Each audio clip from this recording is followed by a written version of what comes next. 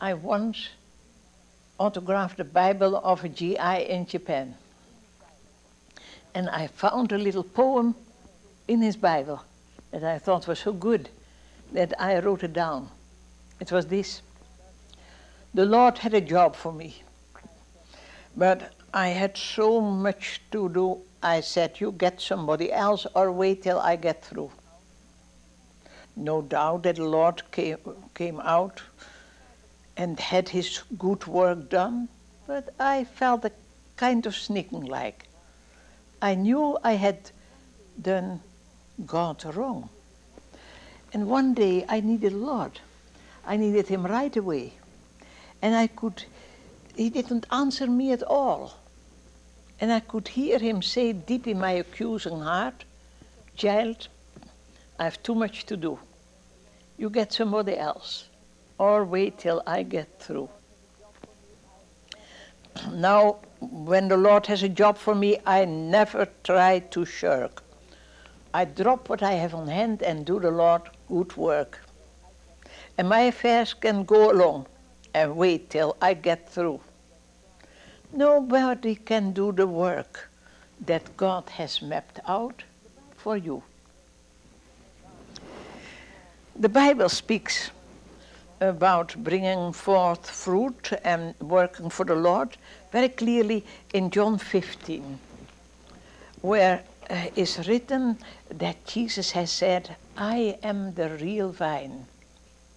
My Father is the husbandman. He removes any of my branches which are not bearing fruit. And he prunes every branch that does bear fruit to increase its yield. Now you have already been pruned by my words. You must go on growing in me, and I will grow in you. For just as the branch cannot bear fruit unless um, bear fruit uh, unless it shares the life of the vine, so you can produce nothing unless you go on growing in me. I am the vine itself. You are the branches. It is the man who shares my life and whose life I share who proves fruitful. For the plain fact is that apart from me, you can do nothing at all. The man who does not share my life is like a branch that is broken, broken off and withers away. he becomes just like the dry sticks that men pick up and use for firewood. But if you live your life in me and my words live in your hearts, you can ask whatever you like and it will come true for you. This is how my Father will be glorified. In your becoming fruitful and being my disciples. I have loved you just as the Father has loved me. You must go on living in my love. If you keep my commandments, you will live in my love, just as I have kept my Father's commandments and live in his love. Do you see that love and obedience belong together? I have told you this that you can share my joy and that your happiness may be complete. This is my commandment that you love each other as I have loved you. There's no greater love than this, that a man should lay down his life for his friends. You are my friends if you do what I tell you to do. I shall not call you servants any longer, for a servant does not share his master's confidence. No, I call you friends. Now, because I have told you everything that I have heard from the Father, it is not that you have chosen me, but it is I who have chosen you. I have appointed you to go and bear fruit that will be lasting. So that when whatever you ask the Father in my name, he will give it to you. Let's pray. Father, in Jesus' name, will you show us a little bit more of what it means to bring fruit, fruit for eternity, by keeping in contact with your Son Jesus. Thank you, Lord, for the blessing that you have in store for us this evening. Amen.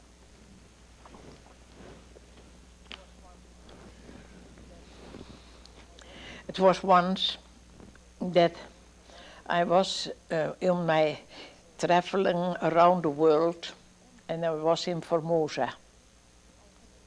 And I had to buy a plane ticket, a rather expensive one. The Lord had told me where to go, and uh, I knew I had to go with a plane. I had not the money. But I didn't mind that, for that has happened more with me. But, you know, the Lord is my treasure. And the Bible tells that he has the cattle on thousand hills. And when I need money, I always say, Father, you have the cattle on thousand hills. I think you must sell some cows and give me the money. And he always does. Now, the money came in time, but when I ordered the ticket, it was not yet there. But I said to the uh, woman in the airport, will you write down?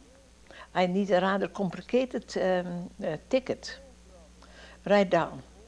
I, we must go from Formosa to Sydney, Australia, then to Auckland, New Zealand, then back to Sydney, Australia, then to Cape Town, South Africa, Tel Aviv, Israel, and then Amsterdam, Holland. She wrote it down. And she said, uh, what's your end, end destination? I said, heaven. She said, how do you write that? I said H-E-A-V-E-N. And she wrote under Amsterdam H-E-A-V-E-N. Oh, she said, I didn't mean that. I said, but I meant it.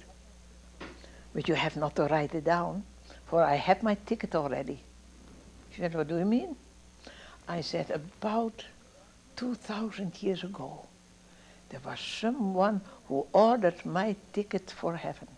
And the only thing I had to do was to get it from him.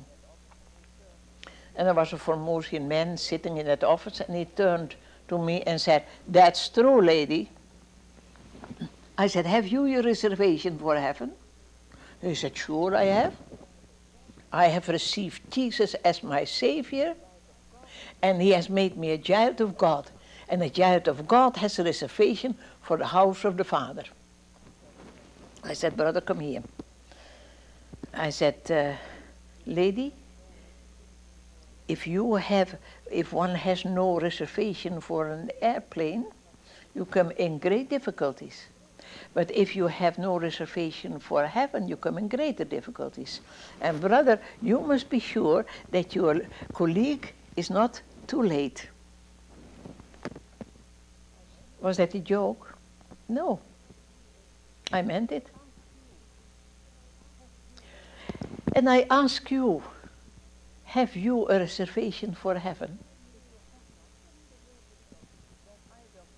If you have not, then I will tell you from the Word of God how you can get it. For what had to be done was all done at the cross of Jesus Christ, where he carried the sins of the whole world also your sins. the Bible tells that Jesus said, Come unto me, all who are heavy laden, and I will give you rest. You see, that's a matter of coming to Jesus.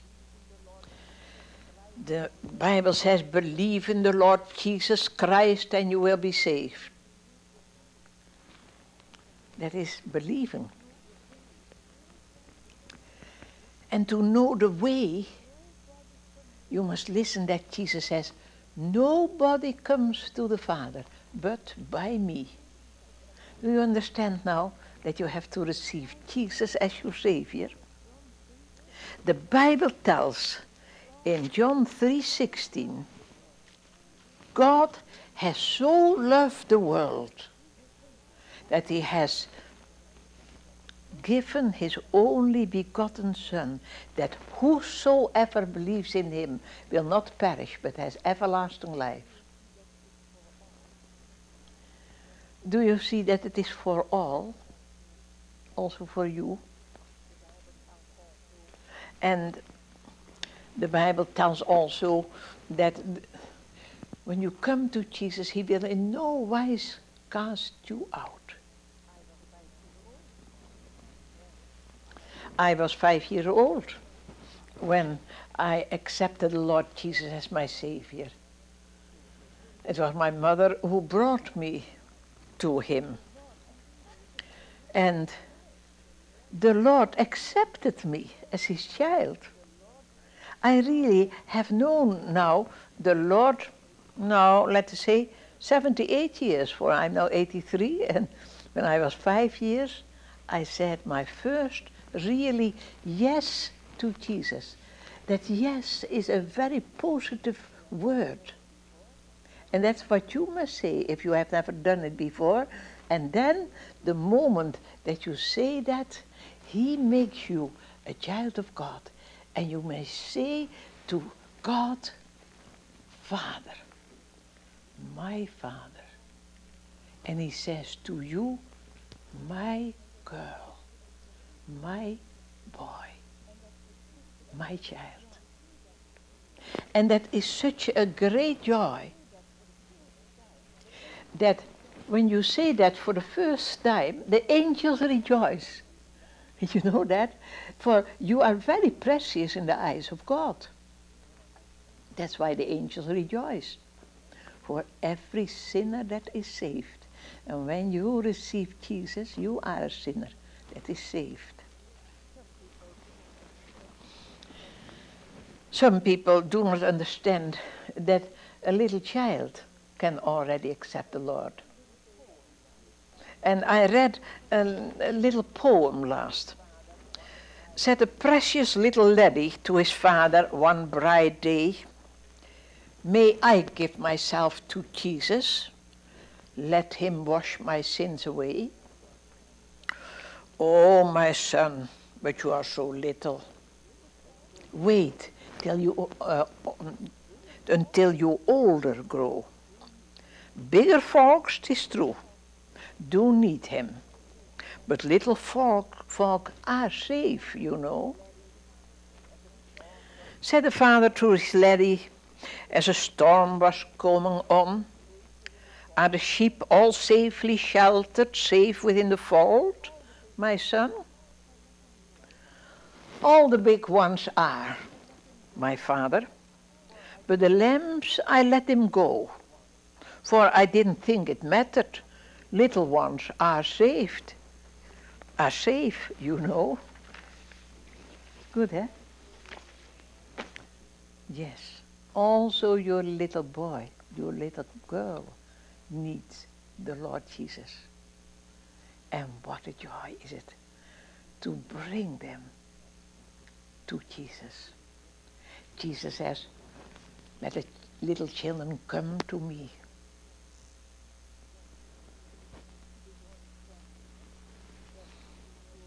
Did you understand that you have to surrender? When you will be the branch of the vine, you must be connected. Then the Lord is the vine and you are the branch. And I like to very much that, um, uh, that um, illustration from the Lord. For you see that it is such a relaxed business to be a branch of the vine. A branch does not try and try hard to bring forth fruit. No, it just is connected with the, with the vine, and the vine does the job. Sometimes when I feel very unable, then I repeat a little poem that I learned. Coward and wayward and weak, I change with a changing sky. Today so eager and brave, tomorrow not willing to try. But he never gives in, and we too shall win, Jesus and I.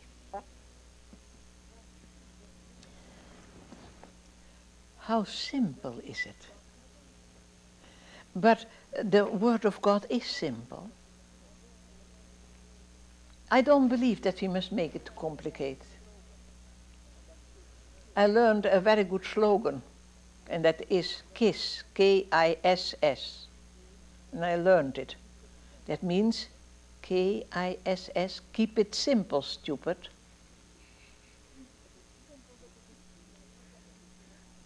It is simple, but it is deep and it is joyful to be a branch of the vine. And the Lord said very clearly, Who is it that overcomes the world? He that believes that Jesus is the Son of God. And a very sick world is to overcome. Like the Father has sent me, so I send you. I told some of you about a time that I was in the underground work to save Jewish people, that there was in Amsterdam a Jewish orphanage where the babies were in great danger. Adolf Hitler had sent a message that the babies had to be killed because they were Jewish babies. And when I heard it, I told the boys with whom I worked, save these babies. And they did. They stole 100 babies. And I remember that um, one of my bravest boys, Piet Hartog, said to me that evening, My, I feel so happy when I think that we have saved these babies. I said, Peter, I feel so happy. But do you know that there is still a work more important than saving lives, and that is saving souls and bring people to Jesus? Then Pete smiled and he said, Oh, oh, it is true, I'm a child of God. I pray, I read my Bible. I go to church. Uh, but other, uh, to tell other people about Jesus, that's not my job. That's a job for my, for my pastor. I said, Pete, every child of God is called to be a soul winner, for you know the way. And Pete, in your lifetime will come a moment that you will see it for you the most important thing. It was half a year later that Piet was arrested. And he came into prison and there he heard that he had only one week to live. And then they should kill him, shoot him. The day before he was shot, he wrote us a long letter and he wrote, All the men and the boys in my cell are sentenced to death just like me. And I was, I'm so glad that I could tell them about Jesus. That I could tell them that when they received Jesus as their Savior, He would make them children of God.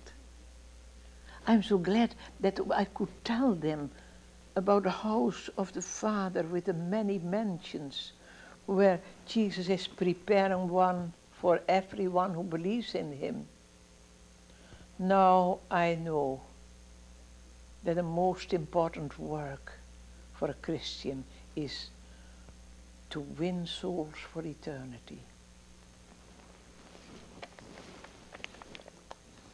I have a message for you from Piet Hartog, especially for you who are young. Don't wait till the last week of your life but say today, Yes, Lord, take my life and let it be consecrated, Lord, to thee and make me a soul winner.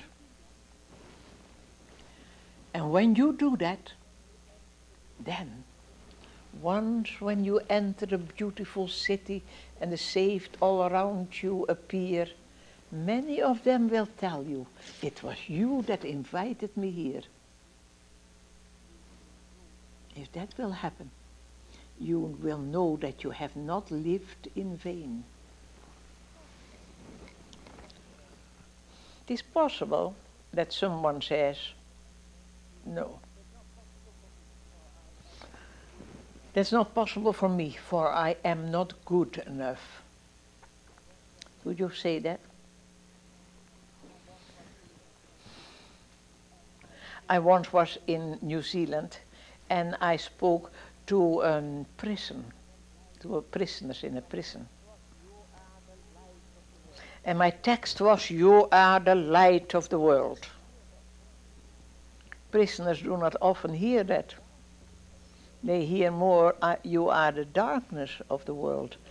But when a prisoner accepts the Lord Jesus, he is the light, often in the very prison where he must be. And it, I know it was a joyful uh, message. And I told them, the ocean of God's love is available for you. And you can be the salt of the earth, the light of the world. And so I told a little bit of how the world, the Lord could choose everyone. And then one of these fellows stood up and he looked at his fellow prisoners. And he said, Folks, this morning I was reading my Bible. And I read about three murderers. One murderer was called Moses. One David. And one Paul. Were they murderers? Yes. He was right. All three were murderers. And the prisoner said, Fellows, what can God do with a total surrendered murderer like a Moses, David, and Paul? There's hope for you and me, fellows. Yes, there's hope for you and me decent sinner when you surrender all.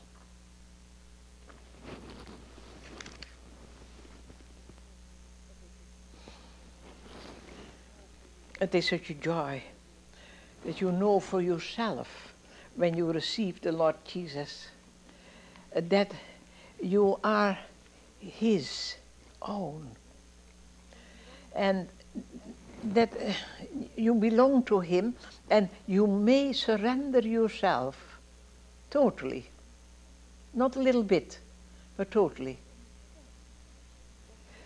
We must understand that we are bought by a high price, the precious blood of Jesus. And it is, it is the legal right of God to have you and me 100%. He has paid the price and we must give ourselves to him. And when you do that, then you experience that when you give yourself to the Lord, that he does the job to make you a branch of the vine that brings forth fruit. you have to surrender also the problems. Yes. Sometimes we are so thinking of the, the difficulties in our life. I remember in my life was a little problem. uh, I walked very much with my father when he was an old man.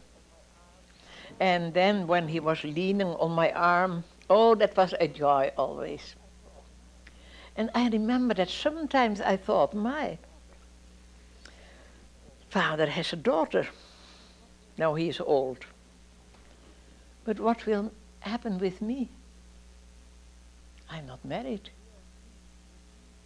What will it be with me when I have no girl or boy on whose arm I can lean? No, I just surrendered it. I didn't worry about it. And that's the thing you must do when you have, have such an, a question, surrender it to the Lord. And I said, Lord, it doesn't mean I'm not afraid to get old. You will take care for it. For when you surrender yourself with your problems to the Lord, then it is what Jesus says you lose your life for my sake, but then you win it. Now I can tell you, I am now old. I'm 83 years old. I have no daughters. But there are many arms on which I can lean. The Lord took care for that. Sometimes children of God cannot understand that God calls them to be single. It was for me a short, but a rather strong struggle. When I understood that God's way was with me not to be married, married, but to be single, I said, Lord, I'm yours. And you can use me however, whatever my life is. Just take that part. Take everything, my body, soul, and mind. And when there are problems in it, then let your victory de be demonstrated in that part that is now suffering a little bit. And the Lord did it. That's the only thing you have to do when you are single. I saw so many people who were single and they were not happy. They knew that they were children of God and they knew that they were the light of the world. They knew that they had everlasting life in Jesus, but they were not happy because they were not married. Poor people. The only thing they have to do is to lay it in the hands of the Lord and claim Jesus' victory over it, and you will experience it. And sometimes when it came back to me, oh, I just um, brought it again to the Lord. The, the, uh, the vine takes care for the branch. It is not try, but trust. It is not do, but done. Our God has planned for us great victory through his Son.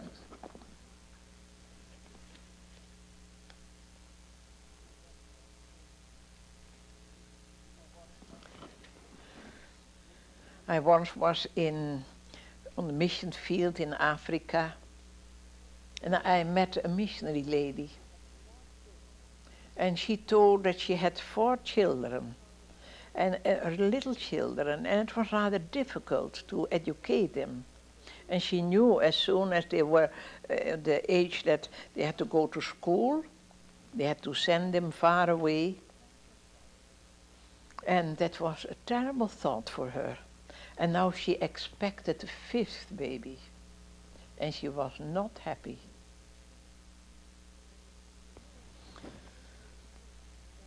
Oh, a fifth baby, and that here.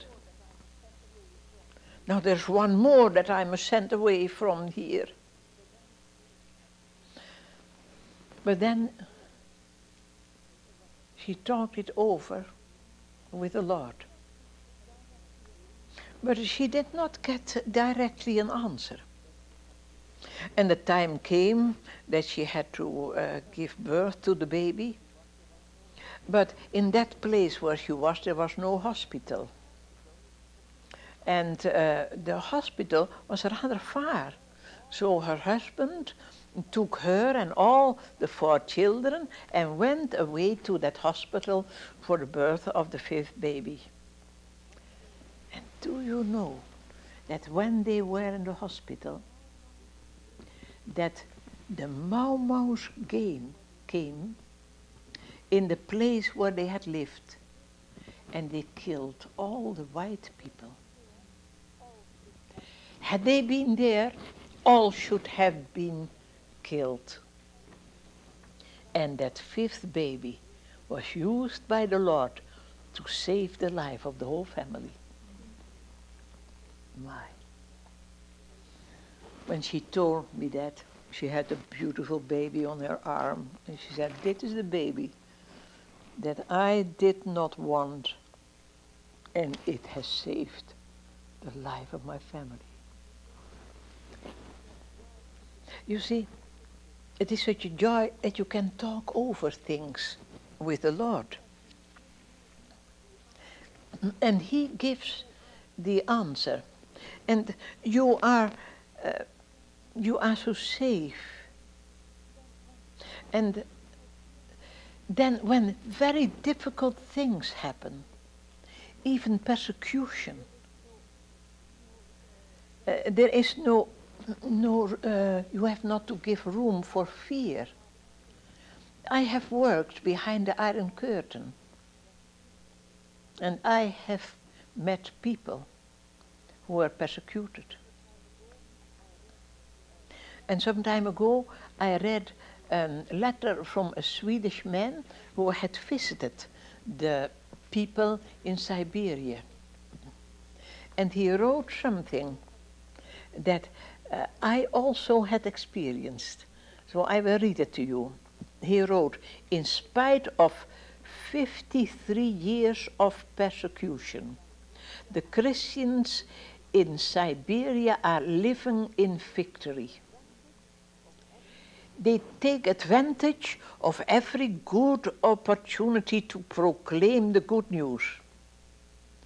We were ashamed when we thought of our freedom and how often it is misused.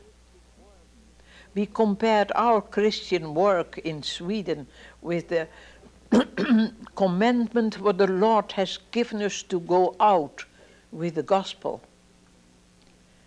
When we heard the Christians pray in Siberia, they did not pray at all for freedom or for release release from difficulties, but only for power to endure to the end. And power to walk the narrow way. Pray for them and for all the Russian people and all the children there who are growing up and brought up in atheism, who have no opportunity to find a way to God. But our Lord is able, so pray for them. Siberian young people said, We have only one leader, it is Jesus Christ.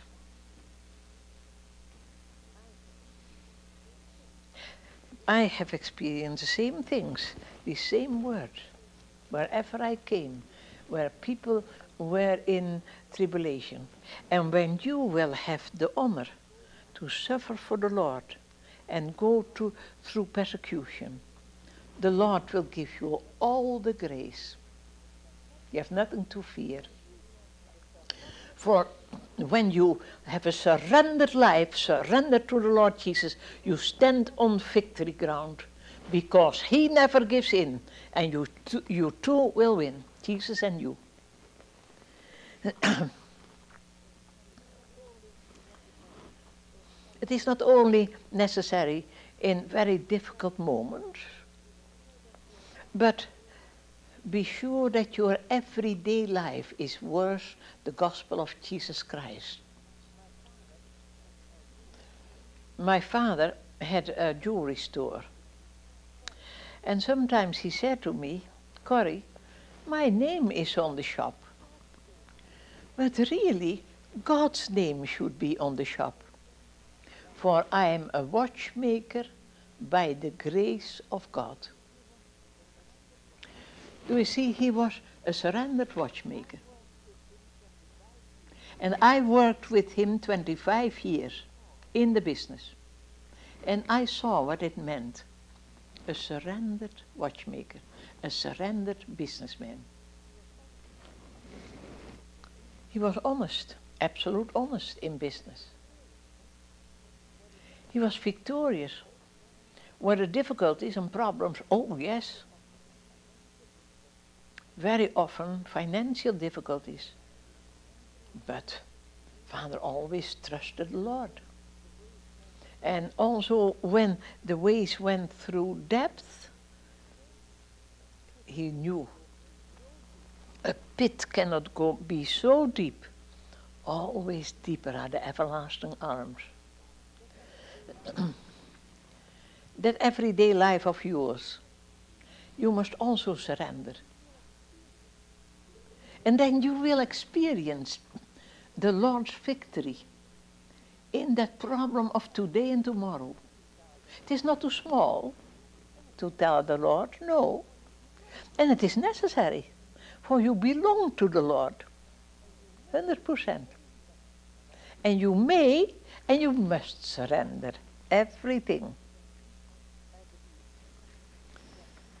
I believe that we Christians must understand that to be a child of the light, in this time is a very special business. The world is very sick.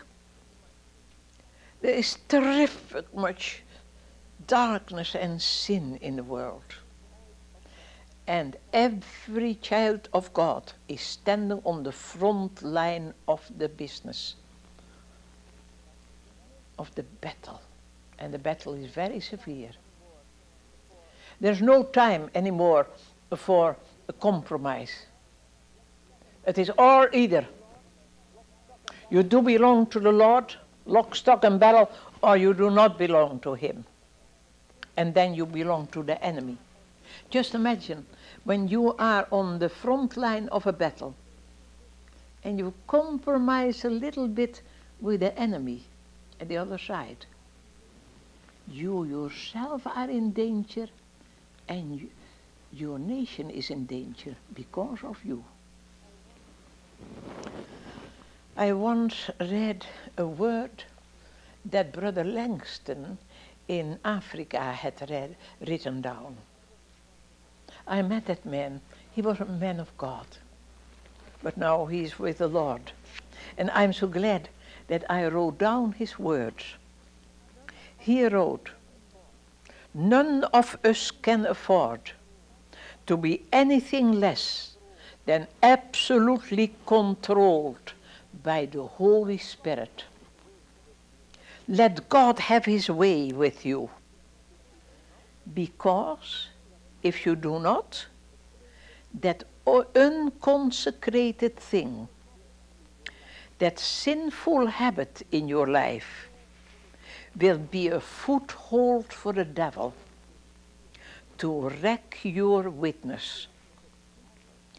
Seeing that the devil is working so insidiously in the churches, let us come to God in these last days and tell him that we want all together be his, devoted to him, led by him, filled with his spirit, taught of him, so that we may be kept from sin and error, and at the same time we may be ready for that glorious event when we shall see Jesus face to face.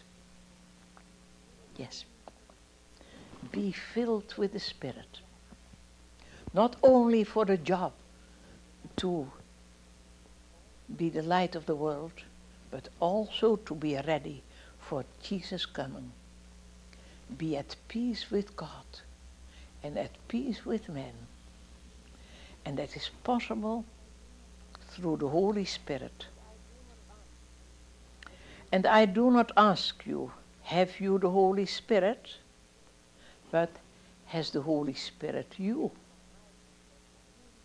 Amy Carmichael said once, the Holy Spirit is willing to enter and fill our hearts, like the light is willing that to flood a room that is opened for its brightness. The Bible has no suggestions, only commandments. And be filled with the Spirit is the more the sweetest commandment of the whole Bible. I have here a glove. That glove cannot do anything. It cannot write, it cannot cook, it cannot not do anything. But when my hand is in the glove, it can write, it can cook, it can do many things. you say, no, that's not the glove, that's the hand in the glove. You are right. You and I cannot do anything. We read it in John 15. Without me you can do nothing.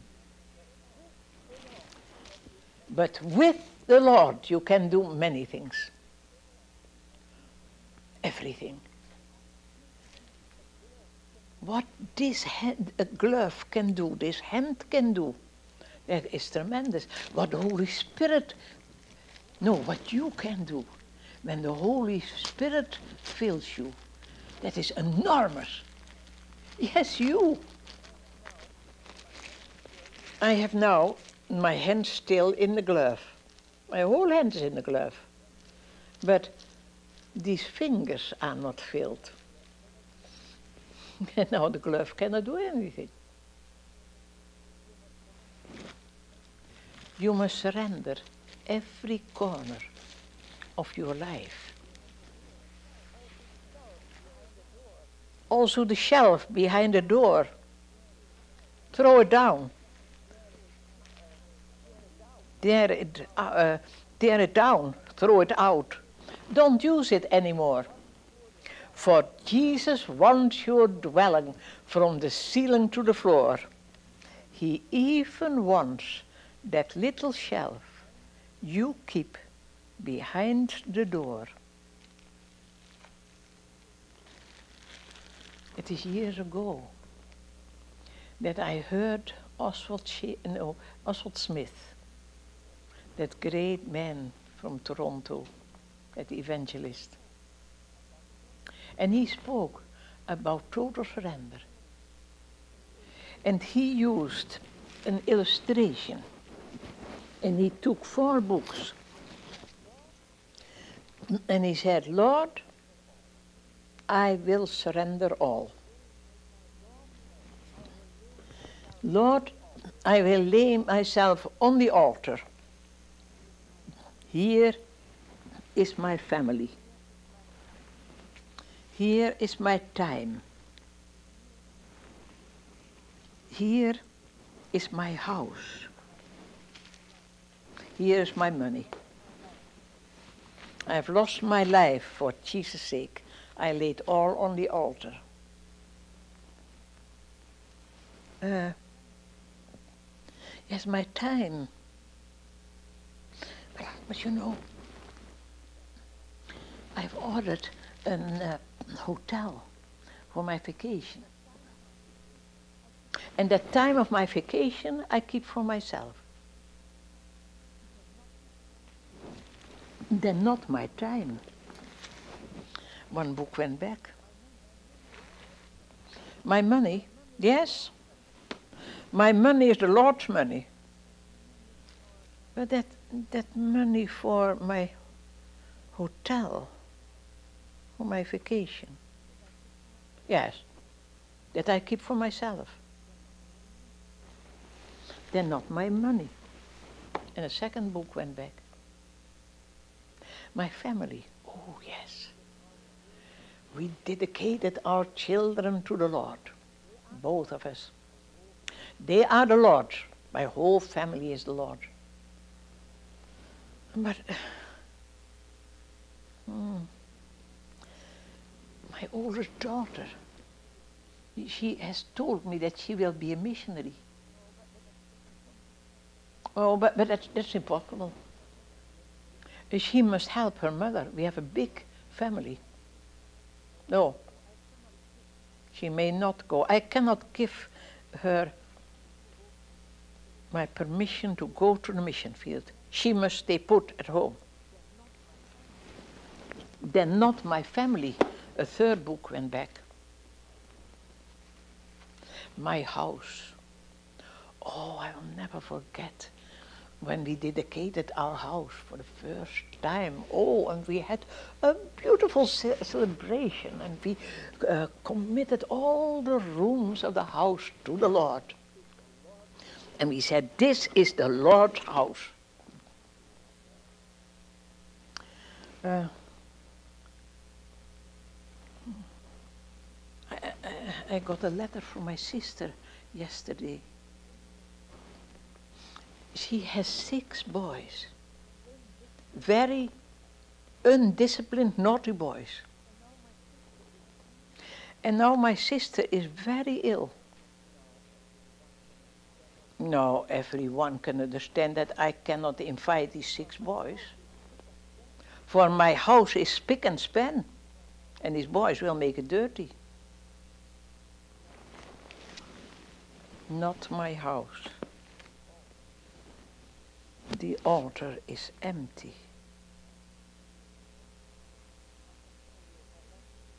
I can tell you, I left that uh, meeting. And I went alone and walked over the fields. And I had to talk with my Lord.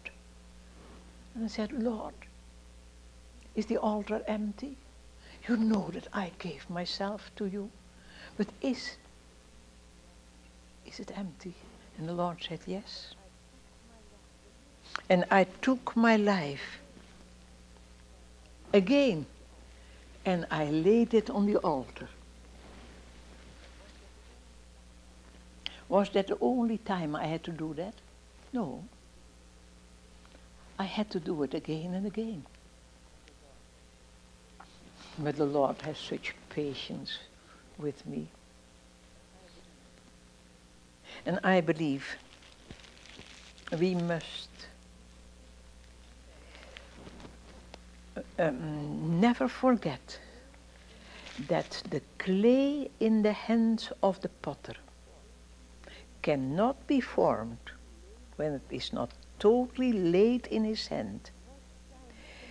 Impress thine image on me, dear Lord. I would obey, but thou, the skilful potter, and I, the yielded clay, mold me. Oh, mold me to thy will, while in thy hand I am lying still.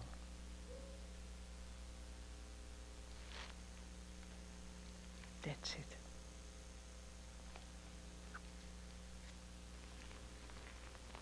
Let's pray.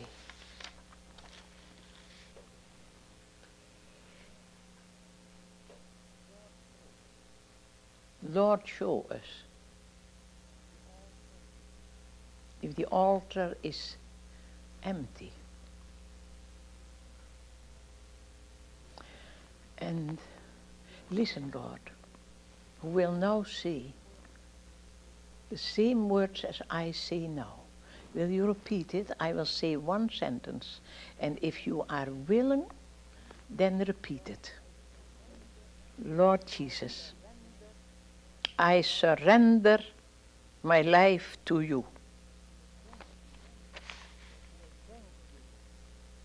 Thank you that you will use me as a branch that brings forth fruit.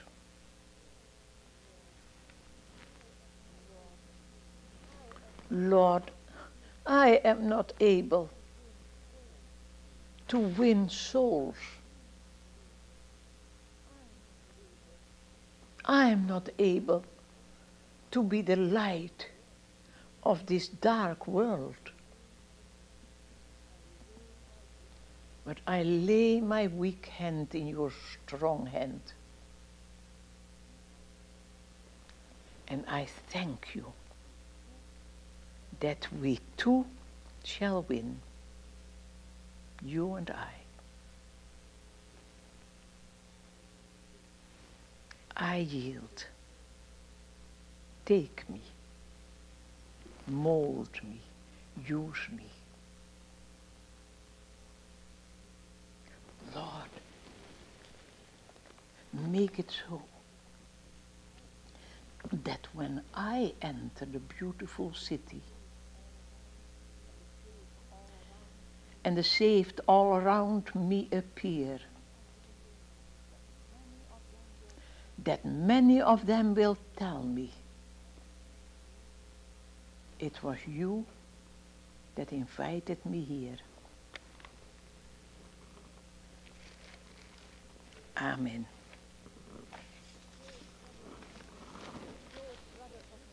And so, brothers of mine, stand firm. Let nothing move you as you busy yourselves in the Lord's work. Be sure that nothing you do for Him is ever lost or ever wasted. Amen.